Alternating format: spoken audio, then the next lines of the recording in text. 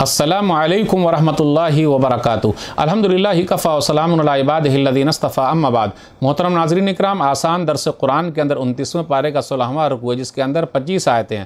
سورہ مدثر، سورہ نمبر چوہتر میں آیت نمبر بتیس سے آیت نمبر چھپن تک۔ اعوذ باللہ من الشیطان الرجیم، بسم اللہ الرحمن الرحیم۔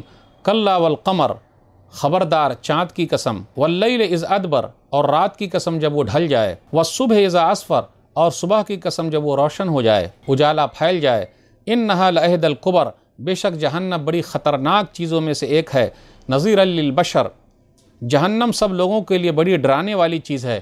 لمن شاہ امن کو من یتقدم او یتاخر جہنم ہر اس شخص کو ڈرانے والی ہے جو تم میں سے بھلائی میں آگے بڑھنا چاہے یا پیچھے رہنا چاہے۔ کل نفسم بما کسبت رہینہ۔ ہر شخص اپنے اعمال کام کی وجہ سے گروی ہے، پھنسا ہوا ہے۔ اللہ اصحاب الیمین۔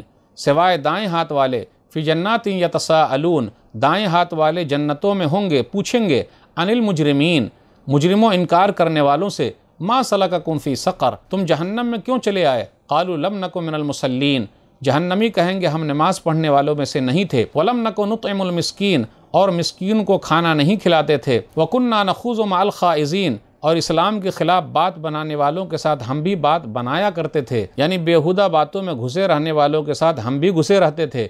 وکنہ نقذب و بیوم الدین اور ہم بدلے کے دن یعنی قیامت کو جھٹلاتے تھے حتیٰ اطان الیقین یہاں تک کہ ہماری موت آ گئی۔ فما تنفعہم شفاعت الشافعین تو اس وقت سفارش کرنے والوں کی سفارش ایسے لوگوں کے کام نہیں آئے گی۔ فما لهم عن معرضین ان لوگوں کو کیا ہو گیا کہ وہ نصیحت یعنی قرآن سے منہ موڑ رہے ہیں۔ کانہم حمر مستنفرہ یہ قرآن سے ایسے بھاگ رہے ہیں جیسے کہ یہ لوگ بتکے ہوئے جنگلی گدھے ہیں۔ فرت من قصورہ جو شیر کے ڈر سے بھاگ پڑے ہیں۔ بل یرید کل امرئ منہم ایوتا صحفا منشرہ، بلکہ ان میں سے ہر شخص چاہتا ہے کہ اسے کھلی ہوئی کتابیں دے دی جائیں۔ کلا بلا یخافون الآخرہ ایسا ہرگز نہیں ہوگا، بلکہ وہ لوگ آخرت سے ڈرتے ہی نہیں ہیں۔ کلا انہو تذکرہ، ہرگز نہیں، بے شک یہ قرآن ایک نصیحت ہے۔ فمن شاء ذکرہ، تو جو چاہے اس سے نصیحت حاصل کر لے۔ وما یذکرون الا ان یشاء اللہ، هو اہل التقوی و اہل المغفرہ۔ جب اللہ چاہے گا تبھی یہ لوگ نصیحت حاصل کریں گے۔ وہی اللہ ڈرنے کے لائق اور گناہوں کی معافی کا مالک ہے۔ یعنی جس کا ڈر ہمیشہ رکھا جائے وہ ذات اللہ کی ہے اور جو لوگوں کو معاف کر دے وہ ذات اللہ کی ہے۔ ناظرین اکرام، آسان درس قرآن کے اندر انتیسویں پارے کا سولہواں رکو جس کے اندر سورہ مدثر، سورہ نمبر چوہتر کی پچیس آیتیں ہیں۔ آیت نمبر بتیس سے آخری آیت آیت نمبر چھپن تک۔ اس کے اندر جہنم اور جہنمیوں کا ذکر ہے۔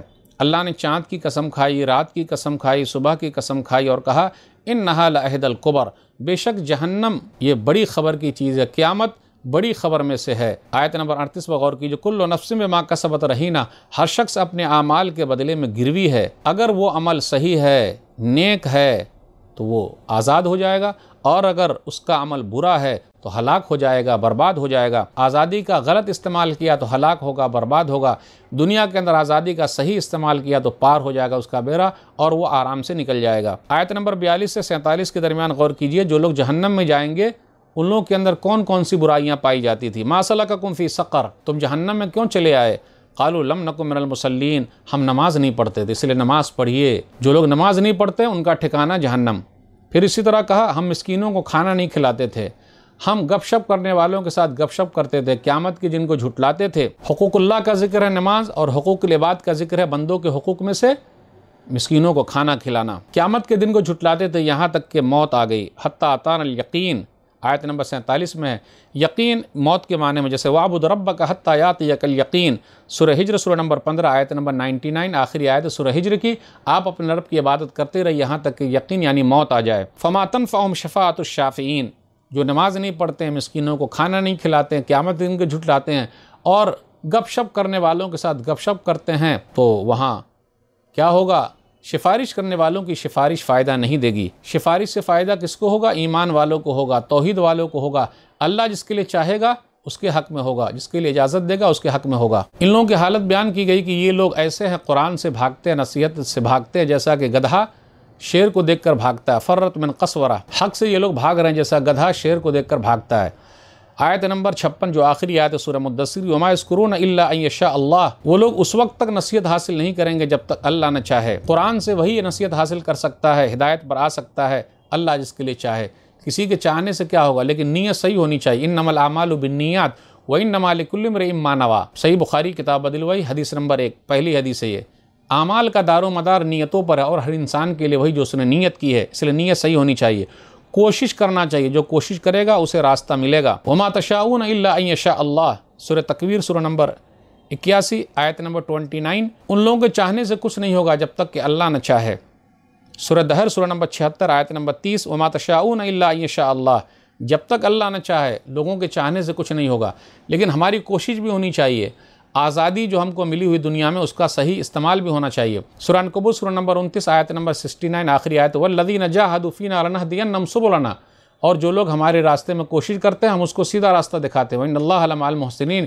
بے شک اللہ تعالیٰ نیک لوگوں کے ساتھ ہے۔ ہو اہل التقوی، وہی اللہ ہے کہ اس سے ڈرا جائے۔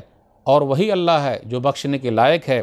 وہی معاف کرنے والا ہے، اس کو اختیار ہے، معاف کر دے۔ اس لیے اللہ کی اطاعت کریں تاکہ اللہ تعالیٰ کی رحمت ملے، مغفرت ملے۔ اور ہم لوگ اطاعت کی وجہ سے اللہ کے رحمت کے مستحق ہو جائیں۔